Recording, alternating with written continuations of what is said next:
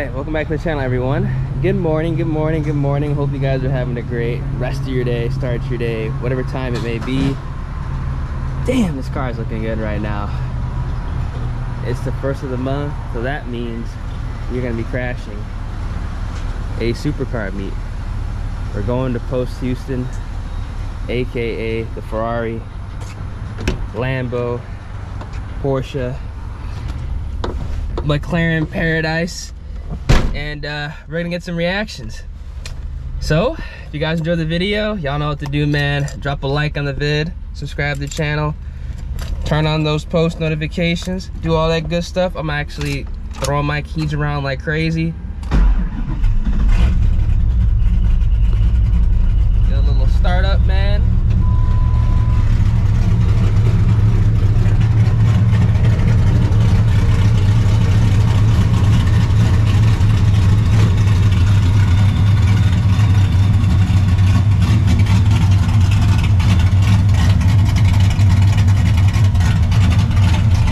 Oh yeah.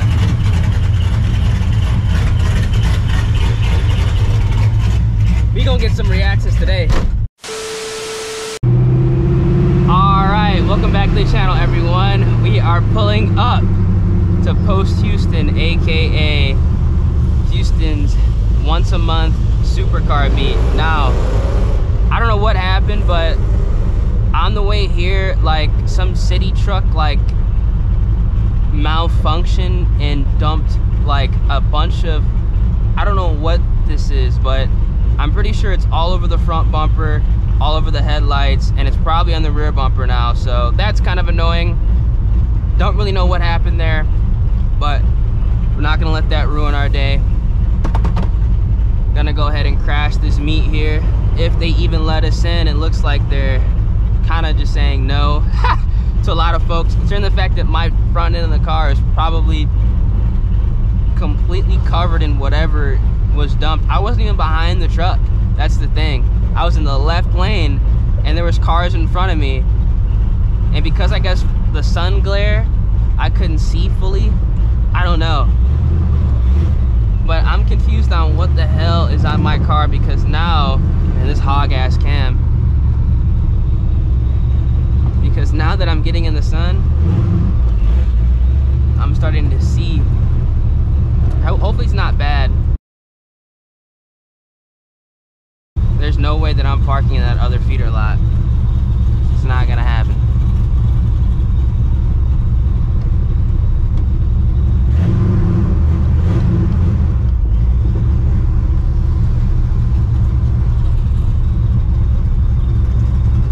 Yeah, it's not gonna happen. I'm not parking in that feeder lot.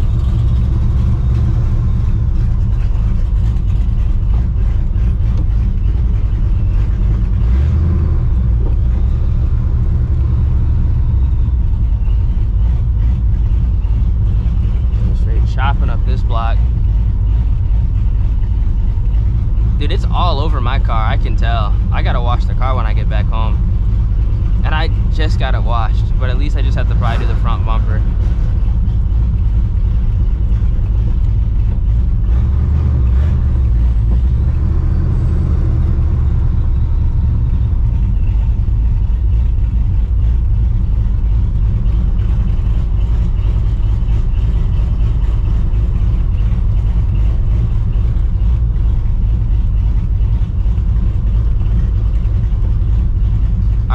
Way are you going? wonder how these reactions are gonna be.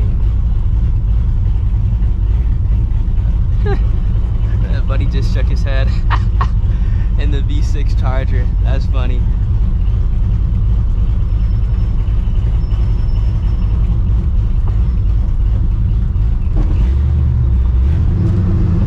He said park over there.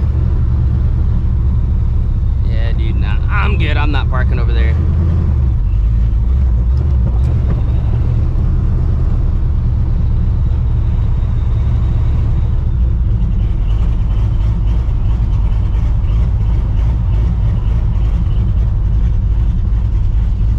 Damn, dude, this place is packed up today.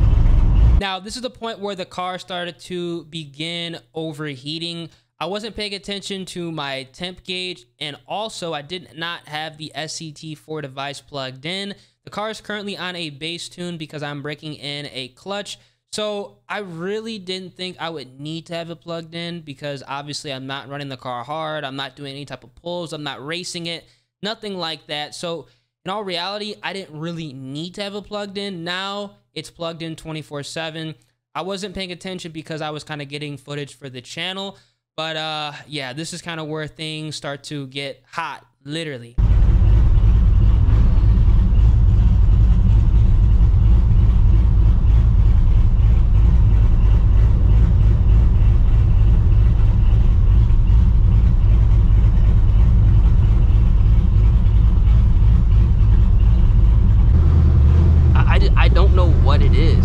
because like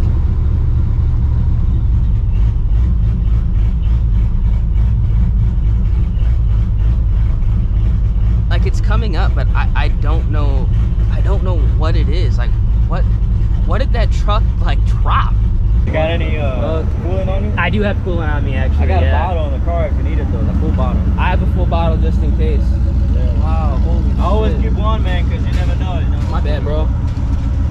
Damn Yeah, just let it cool off, bro. Yeah. Just let it cool off. Hey, bro. Thank you. yeah, man. Hey. Thank you. Holy shit. Oh, you're good. Good thing it's nothing happened, though. You know what I mean? Yeah, because I didn't even notice it, man. I was like, well, what the fuck's that? I saw, like, because I ran, like, something on, on the road when I was pulling up. It, like, a service truck, like, dropped, like, yeah. whatever this shit was. All right, so I just want to know what the hell happened on the highway. You guys can see this. This is like literal paint on the car. I didn't know what it was, but this is literal paint because it's like caked all in here. It just blasted everything in the engine bay. And I guarantee you that should cause my radiator to probably blow out. All over the fucking bag.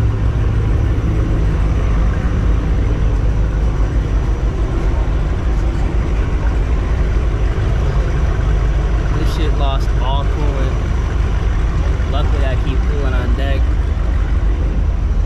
Completely blasted everything. I'm telling you, man.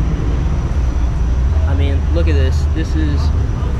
Luckily, there's none on the fucking supercharger, because that would have been incredibly bad, but dude you can see I have no coolant in this car. Luckily I keep coolant on me, but I don't know how this fucking happened, dude. What happened on the highway that caused the fucking paint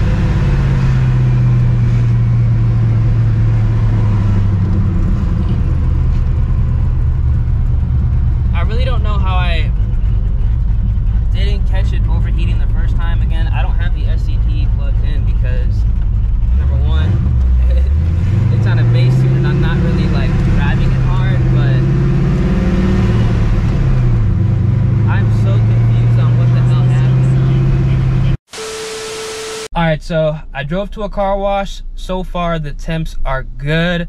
Um, car's driving fine. It did not overheat. Uh, gonna go ahead and spray this car off and get as much of the paint off the car as possible. It's like paint flakes. I don't know how the hell this happened um, because on the highway the glare it didn't look like it was paint. But obviously after getting out the car it 100% is paint. I don't know how that happens. I wish I got the actual plate of the truck because I'm half tempted to call the city of Houston because this is like ridiculous. And I know this has probably happened to a shitload of cars on the highway I was on. So, oh man, this is why I don't like coming to Houston legitimately because like it's the roads are, it don't make any sense. Like if you're not on the, the freeway, the toll road freeway, well, freeway it's terrible. Like you guys know, it's just random shit be happening.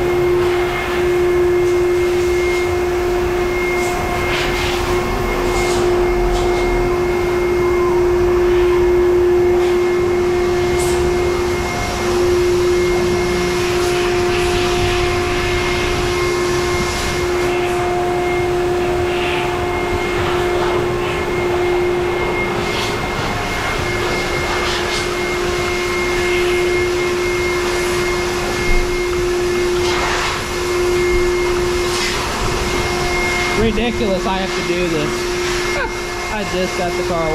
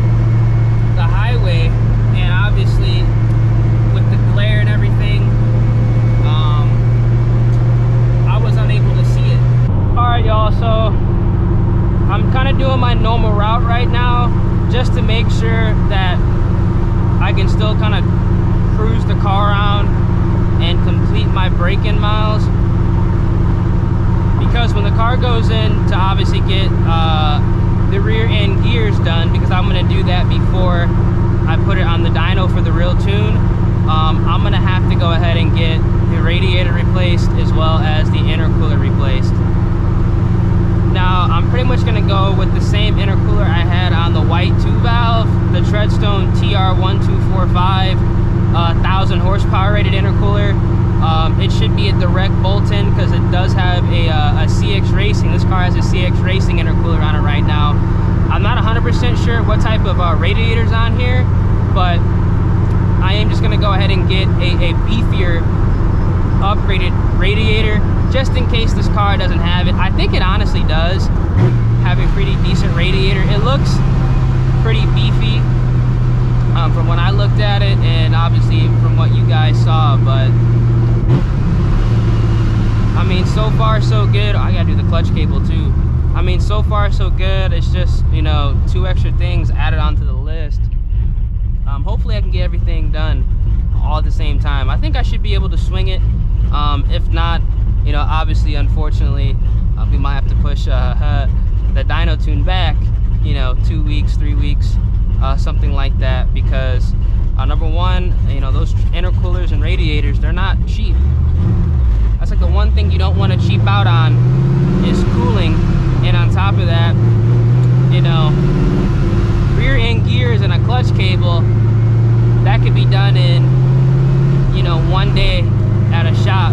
Doing rear end gears, clutch, radiator, and intercooler, I mean, that's a couple days, I think, maybe two, three days or something like that. So, I'll keep you guys updated. But uh, if you guys have any recommendations on radiators, uh, please let me know down in the comment section. I am going to go ahead and replace uh, the coolant reservoir as well because it is like a ghetto setup. So I'm just going to get one of those like uh, Moroso, you know, nice ones. not the ghetto setup I got on it right now. Uh, obviously, I wasn't the one that did that, but I'm to go ahead and uh, replace that. But again, let me know what radiators y'all recommend, man. Because I'm just gonna try to play it safe right now. Um, because I know for a fact, uh, because of what just happened, it is paint. It's not like, you know, just spraying paint. It's like paint flakes on the car. That I was able to actually get off, but I'm definitely gonna have my boy, um, ceramic solutions come touch this up like literally like hopefully within the next like day or two just so I can get all this off the car because I only had fucking I only had one rag to work with I was not expecting this to happen today. Luckily I keep cooling on deck because if I didn't have coolant on deck I would have been fucked I would have had to get the car towed which would have been irritating which I do have AAA, but I kind of want to save that tow for when it goes to the shop. or I should say, you know, when it goes to the, uh, when it goes from the shop to the tuners, um, when I do upgrade, you know, the head unit and whatnot. Because obviously I'm not going to drive it, but so far, um, everything is looking good. I'm going to pull up to my uh, normal spot so I can pull over and kind of give you guys a walk around. The car, it's dirty again. Unfortunately, it's dirty again. It was literally fucking spotless not even 24 hours ago, and now I gotta get it detailed again. But I got most of it off to the best of my ability. The rear trunk's kind of bad. Um, that might be chalked, honestly, but again, thank God it happened in this car, not the Shelby. I would be unbelievably furious. I would have been calling the city for sure. All right, y'all. So I'm back on my side of town now. The car is dirty again, but it's not terrible. I was about 30 minutes away when this happened, so I literally went to the nearest car wash I could find. I only had one rag that was given to me and uh, pretty much did the best I could to mitigate any type of like paint damage that would happen with obviously, you know, it being on the car, and it being 100 degrees out here uh, definitely want to go ahead and get as much of it off as possible. Um, I sprayed the intercooler um, I tried to get back there where the radiator was to get as much of like that paint flake whatever it was on uh, the car. Just really really annoying situation. Um, you guys can see uh, down here you know it's dirty still. I mean that's just from driving. Inside the wheel well, it's, you know, paint. Part of it's still coming off uh, because obviously sprayed it. But you guys can see down in there, uh, there definitely is some like paint down there. And um, actually, you can kind of see right here, I think, okay, maybe not. But uh, there's some paint still in there. This whole situation is like really just weird. Don't know how that really happened. Uh, luckily, um, the fuel filter didn't get clogged up. I know it's kind of crazy to think that would happen, but that's kind of what I was, you know, grateful for because I'd be back to square one when I first got the car. So hopefully um, uh, we're good to go. I'm gonna continue to monitor the car, make sure everything is good. Uh, somehow, you know, luckily, man, you know, knock on the shit in this car, you know, whatever, that the blower, you know, didn't get paint on it. Man, that would have been something else for real. I don't have a blower guard on here yet, so that would have been interesting. Whew. What a morning. I didn't even get to enjoy the car meet, man. I had a completely different video in mind for today, but it is what it is. I'm super happy that I was not in the Shelby when this did go down because not only would I have completely ruined the paint because of it being a yellow car and the different paint grades that they use on the S550s, I would have destroyed the carbon fiber hood as well as the radiator and I don't want to know what would have happened if that car overheated. Obviously, because it is a newer car, all the newer electronics, I'm pretty sure there would have been some type of alert. Again, I don't ever want to find that out, but I'm just happy it didn't happen in that car. Obviously, I did not want this to happen in this car, but I was already planning on respraying the paint. It's not in the best condition, so, you know, it kind of is one of those it is what it is situations. Now, as you guys saw uh, from the vid, it was coming out of the coolant reservoir. It wasn't coming from the motor. It wasn't coming from the exhaust that's originally what I thought was going down. It came from the reservoir, which I'm assuming that the paint flakes, whatever, caked up the intercooler, caked up the radiator, and it was preventing flow. So obviously all the pressure came out. So, man, luckily I turned it off like as soon as it happened. Now, I do want to give a quick shout out to uh, the fellas that did recognize me at the meet. I know I was a little bit out of it today. Obviously, I was focusing on the car. Uh, you guys probably had no idea what was going on. I was just sitting in the car with the hood pop. So I do apologize, but uh, thank you guys for saying what's up. You guys know how I am. Um, for those of you who met me in person, I'm like a really, really chill guy. So I hope I didn't, you know, rub you the wrong way. That's what she said. but also, I want to give a huge shout out to the two fellas let me know what was going on because I wasn't like fully paying attention because I was obviously recording a video um, and I wasn't looking directly at my temperature gauges when, you know, it blew coolant out the uh, the reservoir. But the fellas that let me know what went down, um, I was able to turn the car off literally a second or two after it happened and uh, thank you guys so much man. That's that's what the car community is about man having each other's backs. So if you guys enjoyed the video uh, damn it i hate making these vids i really do. Make sure you guys drop a like on the vid subscribe to the channel turn those post notifications i'm to monitor the car for the next couple of days and obviously go ahead and replace the parts that 100% need to be replaced uh, the radiator as well as the intercooler all right, so I did go ahead and actually drive the car about 25 minutes home in stop and go traffic. That was the route I had to take to get back to my place. And I did actually plug in the SCT device to monitor the coolant temp as well as the IATs so I can determine if the radiator as well as the intercooler were compromised. Now, Mind you, it's 100 plus degrees outside here in Houston, stop and go traffic for about 25 minutes. My coolant temp was about 208 212 now that is high for me. I don't believe my white car ever got that hot and that was with the stock radiator that is on the car right now. The radiator that's on this car definitely is a little bit of an upgraded unit but because of the paint incident i am going to have to replace the radiator the fan, the thermostat, as well as the electrical connections for all that stuff. Now, when I did go ahead and pull the car into my apartment complex and park it into the garage, um, obviously stop and go traffic, more cars, more heat, and in that little smaller garage, um, my coolant temps uh, did rise up to actually 236, and I immediately shut off the car. That is way too hot. Um, I know some people might say it's not that hot, but I mean 236 is that's too hot. Like if I was doing pulls at 236 that's going to be a bad, bad situation.